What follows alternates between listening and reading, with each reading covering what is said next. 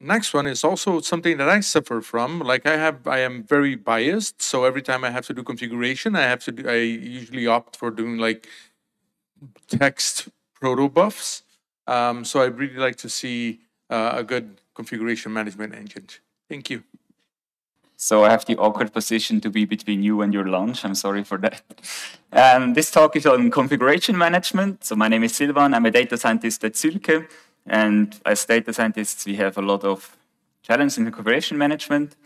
What is configuration management? So basically, when you write the program, you get configuration from different sources. Like we have seen before that you have paths hard-coded in the script. That's what you for sure do not want.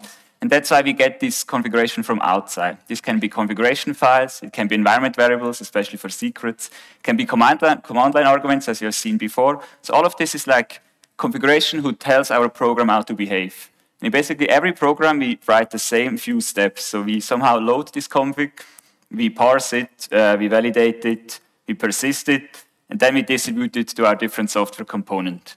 I mean, usually that's not a big deal. I've seen before, argparse, three to four lines, perfect, you're fine.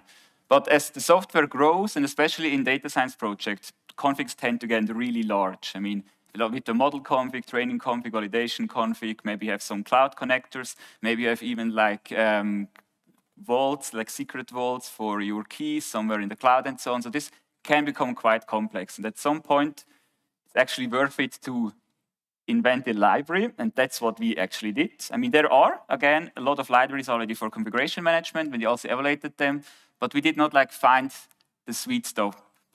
It was like there was always something missing. Like either they had only very specific sources. For example, you have seen with argparse, it's really just meant for arguments. I mean, it's not does not want to solve all these problems you have seen here, or validation, multiple environment, ID support. So there was always something missing. That's why we thought, okay, there are 10 competing standards, let's invite an 11th. And that's what we did.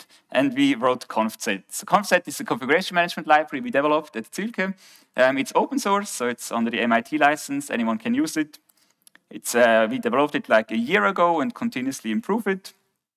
Um, yeah, it's on GitHub. You see, the world has not like waited for this library, but it's also not completely unpopular. And maybe if everyone gives a star, it's already twice as large. I mean, and it has, of course, documentation in read the docs, and you can install it with pip or also with Konnagol, of course. So what's it about? And we will first go into like the basic principles and then also look a bit under the hood because I think it's quite interesting. So some of you might know Pydantic. For those who don't, it's basically data classes, but with validation and rich types. In Pydantic, we will see it afterwards, you can define a data class, but you have way more types than the standard types you know from Python, and you get validation. So you cannot just put any data in these data classes, they have to be correct. Basically, um, ConfZ is just a, la a layer around Pydantic. So it allows to load the data from the sources. That's what Pydantic cannot do. And then it passes it to Pydantic. And Pydantic then does all the validation, persisting, and so on. And we then do a caching. We'll see this later with lazy loading, how this works. Um, it allows for a heterogeneous set of sources. We see this afterwards, like with environment variables, command line arguments, constants, and so on. And it's easily extendable. As I said, if you have keys in the cloud somewhere on Azure Key Vault, just write an extension and you can load them from them.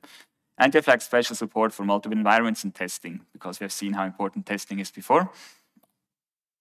So instead of going like into a programmatic approach and how everything is set up, we just look at how can you use it by examples, see how it behaves, and then we look a bit under the hood and see why it can behave the way it does. So that's the basic usage, and that's, I guess, whenever you want to use ConfZ, you just need to know this in theory. So we have here an example. We have a database configuration. It consists of a user and a password. So we have here, um, it inherits from ConfZ. So that's what you write. You define how a config looks like. Because, I mean, you as a programmer, of course, knows how your config looks like. And you can define, you can use standard Python types like string, or also a bit more special types like the secret string from Pydantic. It's basically a string, but it will not just print. So if you, on accident, like dump your dbconfig onto the console, or it's even so log file, it will not be there in plain sight. So it's a bit hidden, and which is a good thing here. And then if the API config, for example, here in this example, we code an API and we say, well, our API, it runs at some host, it has some port, and it connects to some database. And the database is configured by the database config. So far, this was actually plain Pydantic, so it's not special. But now we add this um, class variable config sources here, where we define where this config is stored. This is just one example. We see many more examples later, where we say, well, all this config is actually stored in this YAML file here at path.config. And that's actually all you need from now on. Whenever you need some of these config variables, wherever you are in, in your system, you can just like import this config and just directly instantiate and load it and access the values. And under the hood, when you access one of these values, it gets loaded from the file, and later on it will be persisted, so it only loads it once, of course. It also loads it only at the first access. It will not load it already at the import, because that's bad practice then. And actually, that's all you need to do to use ConfZ um, in a like very basic, basic sense. As I said, um, it has some caching and lazy loading. So when you instantiate API config, for example, twice, here we have the is operator, which checks for identity in the sense of if it's really at the same memory location, not just if the values are correct. And that's then true in this case. And also, if you try to overwrite it, it will fail because um, the config should be immutable in this case. And you can use the full power of Pydantic. So whatever you want to do with this config, maybe drop it as a JSON somewhere, whatever, you can use all the methods Pydantic provides. For example, here, the JSON serialization. As I said before, we have for certain scenarios a bit more functionalities. For example, multiple environments. Maybe we have like our local dev environment, we have a staging environment, we have a production environment, we can have a lot of environments. And we might, for example, have different config files for these different environments. And that's no problem in config. The only thing you need to do is instead of defining a file, you just define a folder and then tell Pydantic the source of where it should know what environment to use. So this example, it will read the environment variable environment and then look, look at the value here and then read the config file, which is in the folder with the name of the environment variable. So that's all you need. And now we get, went from a single environment setup to a multi-environment setup. We've already seen that this config sources is quite flexible. It actually is. It can also be a list, and then it will go through the different sources, and later configs can override, later sources can override earlier ones. So for example, here we also have an environment source. So we say, well, you can use environment variables, you can use all of them, so allow all is true, and instead of using the real environment variables, you can also, for example, use a .env file, if you again like files. And if it's not here, then it really uses the real environment variables. And you can also say, well, afterwards, look at the command line arguments, look at all the command line arguments which start with conf, and if there is some of these defined, then overwrite this. And with these two line of codes, we can actually define our um, application with environment variables, but then overwrite them with command line arguments. So for example, if you're on AWS SageMaker and you do some hyperparameter testing, you will get the hyperparameters as command line arguments, and then the only thing you need to add is this one, and then it will be correctly verified and parsed. We have so far always seen this global config. Um, this is not always a thing you want to have, especially if the application gets very large. It has this singleton thing, which uh, is not, not always very nice. so what you can also do, instead of having this config sources class variable, you can just define standard configs like here. So this is now really like Pydantic, but instead of inheriting from Pydantic base settings, you inherit from ConfZ. And then by instantiating this class, you can provided with config sources. And this is now, has the same power as before as the class variable config sources, but it's now a key line, a command line argument. No, sorry, a class, an instantiation variable, yes. And you can also like combine this with traditional um, keyword arguments here. Like you can even just use it as if it would just be a data class or a Pydantic base model. So you can do all the combinations here. Now we have some configuration. Um, we have this maybe like a small database locally, but for testing. Very often we want to override certain configuration for testing. And that's also something which is supported. So we have here an example. We have our configuration, which just consists of a number, which is usually read from a file. It's maybe not the most interesting configuration in this example. Um, and then you can just read this number and it will be printed. I mean, this is now a small script here as an example. But now if you go to testing, you might want to override this number. That's actually possible. So you can just define new sources. So we say, well, we now have a data source. So the source of the configuration is a constant, which is in this dictionary defined here. And then every config config class allows to override the config with a context manager. So you can just call myconfig.change config sources and give it the new source. And then within this context, it will load the new source and use the new source. And then according to here, we have 42.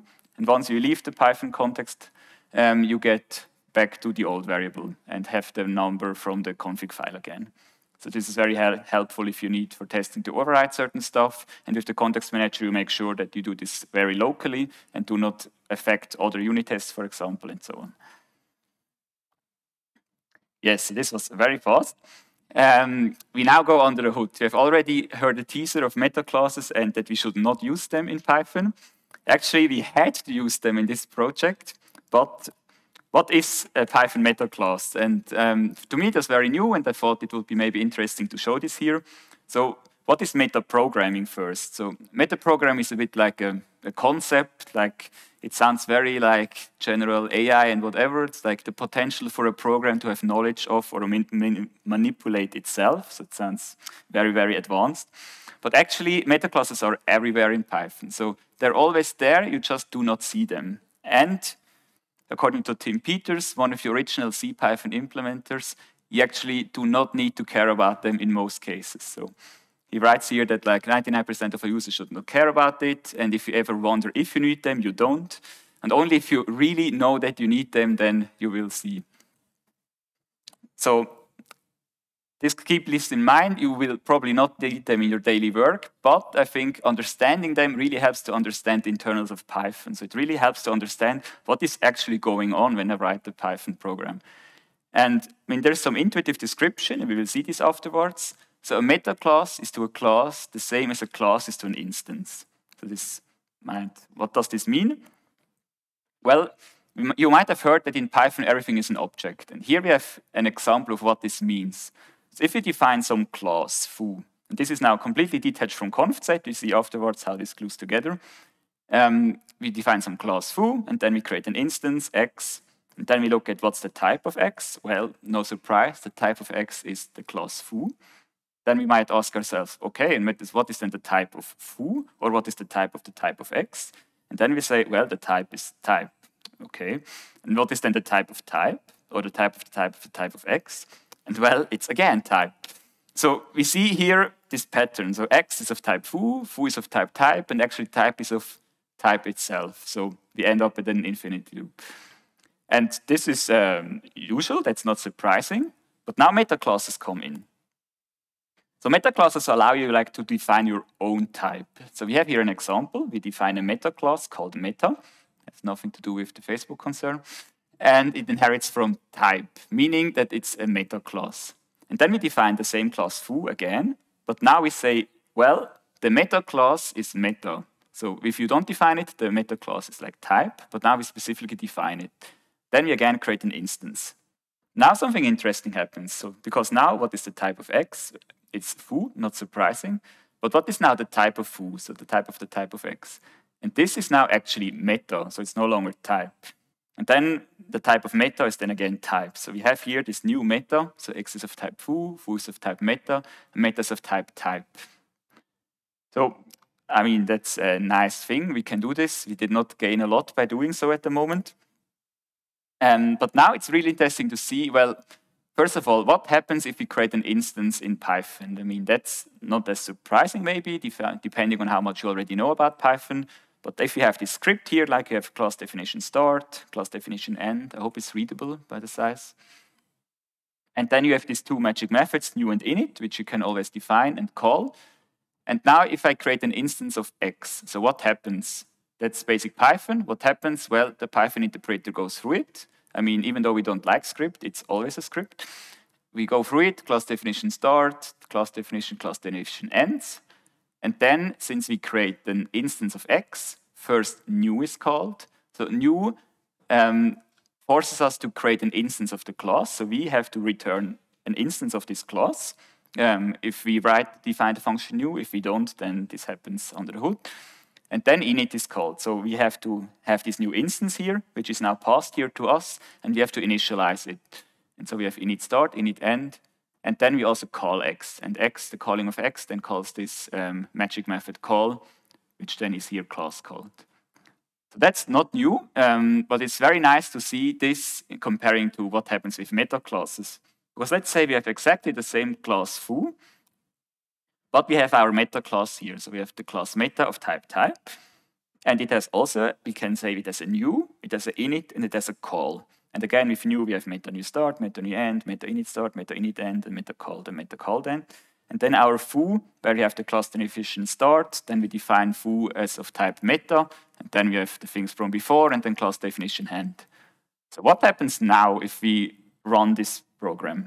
And actually, it's very interesting. So we have class definition start, then we have a function description. And now we see that actually under the hood, stuff happens. So really, Python, it's an interpreter. It goes through the language, like through the program, line by line. It sees, OK, class definition start. I have a class foo, which is of meta class meta. This means I have to define a new class. This means I have to create an instance of the type of this class, which is meta. And we see now exactly the same behavior. We have like meta new start, meta new end, meta init start, meta init end, where our meta class forces us to create a new class and then initialize this class. And then the class definition is handed. So by just defining a class, things happened under the hood and Python like created this class by instantiating the type of this class, which is meta in this class, in this type. And then the same thing happens as before. Uh, first, this happens. So now meta is called. So when you remember here, we create an instance of foo. And I mean, if we look at this, what we actually do is we call the type, uh, we call the class. And that's what actually happens. So the class is called, sorry, the type is called, and then it gives back the instance. So we have created the class from the type, and then we create the instance from the class. And then the things happen as before. So we have the class new start and class init start. And then again, meta is called, like it's ending here. So all this instantiation of the type happens within the call function of the meta type. And then we're done. And then again, we have the class called here because here we called x. So we see it's really a meta class is to a class the same as a class is to an instance. It's really just an instance, and by defining a class, we actually instantiate the meta class. The same as by creating an instance of a class, we instantiate the class. And what can we do with this? So far, it was nice to see. I mean, nice that Python works this way, but also we wouldn't really need to know. I mean, why would we care? There are some things we could do with this. I mean, here this dummy example, so we could just add an attribute. I mean, it's not something you would really want, but it shows nicely that you have the full freedom to manipulate these classes as you want. This doesn't mean that you should do so, because it gets very intransparent what happens. But we see this here, like we have this meta class, and we say, well, whenever a class is created, which has as meta class meta, it should add a class attribute called new attribute. And then we have here foo. It's an empty class, but still by just saying it's the meta class meta, foo has now like a class variable new attribute, which is also an instance variable new attribute here. So we can manipulate these classes. And uh, I would say like the most popular example for this are singletons. So when you search for how to do singletons in Python, you might have done so. You end up on Stack Overflow with a post with so many upvotes, and there is an example here. And most people look at it and say, well, okay, that's not for me, that's very weird, I will not do this. But actually now with this context, it's not that bad. So what we can say is, well, we have a meta class called singleton, and this meta class keeps track of all the instances it has already created, meaning of all the classes it has already created. And now, whenever some class is created, so we have an, like an instance of the underlying class is created, so the call function is called, we only create this instance if it does not already exist. And if it already exists, we just return the previous instance. And now with this, um, what is it, seven lines of code, six lines of code, um, we can define tons of classes, just assign them the meta class singleton, and now whenever we want to instantiate this class, we just instantiate it the first time. And every other time, we just get back the cached instance, which is in the meta class. So that's the Stack Overflow top hit for singletons in meta uh, in Python. Where are meta classes used otherwise? And they're actually mostly used in libraries where you need to somehow define APIs, and you do this as classes. So for example, in Pydantic, you define a base model, and this is like a class. To define a class, you have these class variables with type, uh, variable, and type, and so on. Or like in Object Relation Manager, like in Django ORM, you also define your database tables as a class. And so this is where actually meta classes come in, because you use the class syntax to define something, And then the library needs to understand what to define. It needs have an overview of all the classes you have defined. And it needs to even modify these classes on the spot. Like in the Django ORM, it will then add functionalities as you can save these models, you can load them, you can search for them, and so on. And so in these libraries, they're heavily used. And that's where they should be used. So that's like the best use case for them. In most other cases, they should not. But as I said, we mostly do not need them. But actually, in ConfZ, we had to use them. So that's where the two ends of the talk come together. Because Pydantic needs meta classes, and we wanted to wrap around Pydantic. And to do so, we had to actually wrap around the meta class of Pydantic. So what does this mean? The, I would say like one of the most important parts of ConfZ is this ConfZ meta class, which inherits from the meta class of the Pydantic base model. And to do so, since the meta class of Pydantic base model is not publicly exposed, I mean, it's, we could import it, but it would break. We just get the type of this Pydantic base model. So it looks very weird. So we inherit from the type of the other model.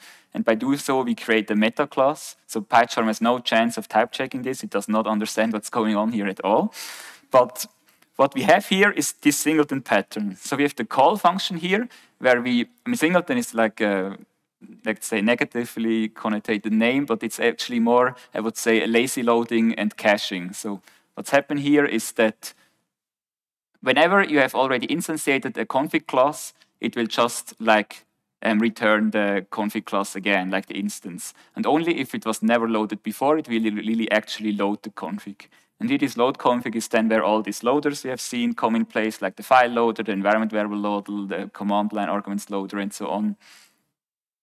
And it also uses this to like load them if you do not provide a class variable and just like provide them as instance, uh, as keyword arguments. So with this ConfZ meta class, we can wrap around the meta class of Pydantic, and then the ConfZ class wraps around the class of Pydantic, like base model, and defines the meta class of the ConfZ. And then we have the other stuff here, which is necessary, like the context matcher for the change config sources and so on. But basically, that's what's at the heart of ConfZ, is this meta class, which wraps around the meta class of Pydantic. This was it. Uh, I think I gained, oh no, I'm late, sorry. oh, oh, I also did not check the sheets. Yes, thank you.